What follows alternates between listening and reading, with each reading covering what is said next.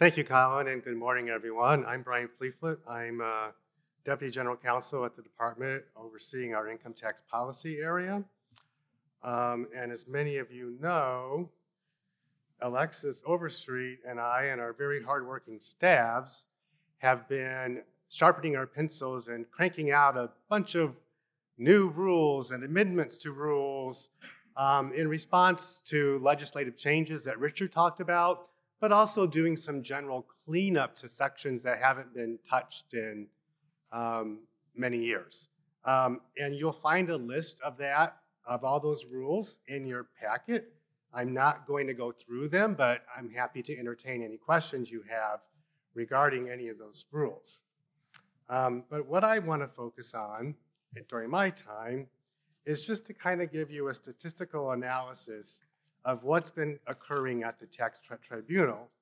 Um, because I think there's some, some sort of a sentiment developing that it's not um, a taxpayer favorable body. And I think if you look at the statistics, that doesn't bear out.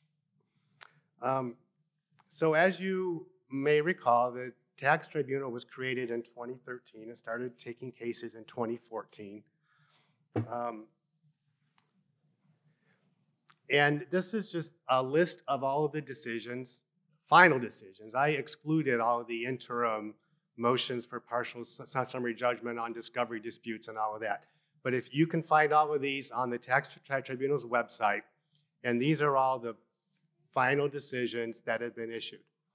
And um, if you do the math, you will find that the department prevailed in 19 of these decisions, taxpayers prevailed in six, and one was a split decision. Um, but if you look at the decisions that were appealed, and a very small number were, and I would note that in each of the cases where the department did not pre prevail, we opted not to appeal.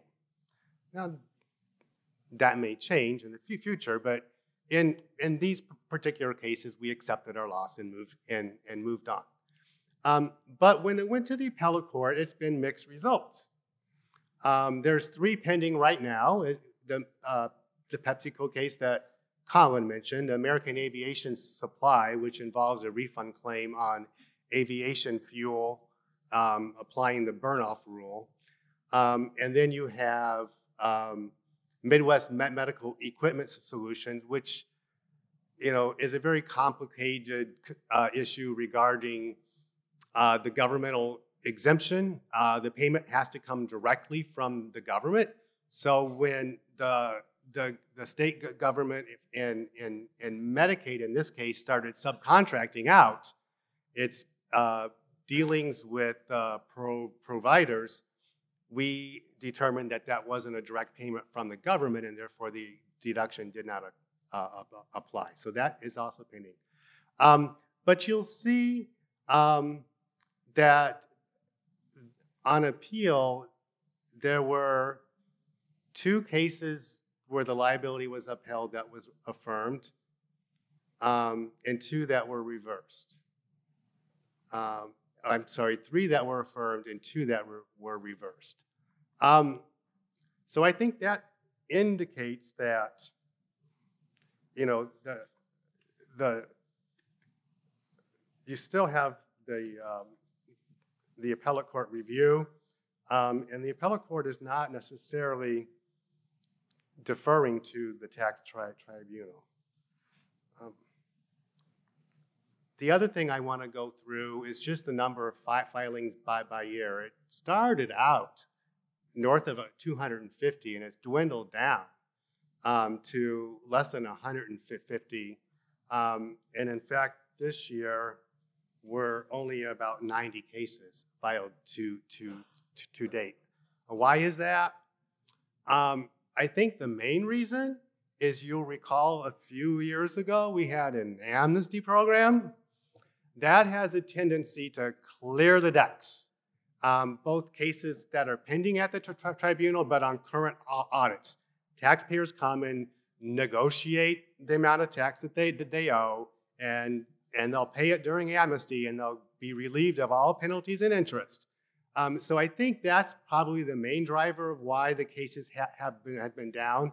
But you're also getting into kind of recession years, and so taxpayers are generating losses, um, and our audit adjustments and, and, end up in loss reductions, and so that's not a protestable issue. Um, so I, I think you, you'll, you'll, you'll see that. But I do know from conversations with our litigation staff the tribunal judges are very nervous because I mean, it's kind of hard to go before the General Assembly and justify a budget when your cases are down, less, you know, more than half. So we'll see what happens there. Um, and then this breaks it down the filings by amount. Um, and you know, when we were um, devising the tax tri- tribunal, um, working with uh, pri- primarily the, uh, the Illinois State Ch- Chamber of Commerce, there, there was a, an issue of where we're going to set the threshold. I mean, we wanted to maintain smaller cases at the Department, Department of Re- Revenue. And, you know, our an, an analysis was, you know, you can set the threshold at 50,000, 25,000. It really doesn't matter. All of the cases are going to be in the 100,000 or more range. And this kind of bears that out. And as you can see, though, over time, those um, have been reducing, all except for the 500,000 to a, a, a million. That's sort of the one that's been growing over time. Right? Yes, Jim. What's the subject matter of most of the cases that are filed, residency, 80/20, whatever, do you have a breakdown of that? I do not have that for you to, today, um, although I do have a slide on responsible officer ca- cases, um, which you'll see that those are trending down significantly.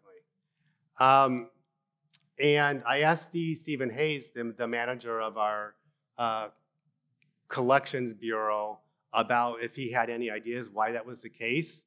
He didn't, but he said he hopes that it's because we're doing a better job of identifying the true responsible officers.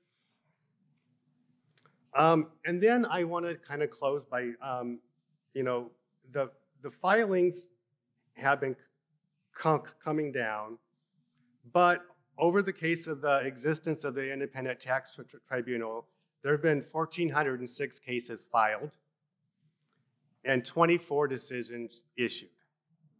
So that shows you that most of the cases are resolved short of a hearing where the, or uh, a su- summary judgment motion where the, the tax tri- tribunal has to issue a decision. Most of our cases, as they always have been, you know, you know, on, on, on the sales tax side, we, we kind of do uh, what we call agreed re-audits, where we accept some documentation the taxpayers have, but it doesn't meet our standards, so we draw certain inferences and we give them breaks, um, and the taxpayers agree and pay. Um, and then the other ones, the bulk of the other ones, we just resolve through some type of a legal settlement merely because the law isn't, it's, you know, ex- ex- exactly clear, um, or, you know, the tax, both parties have viable positions.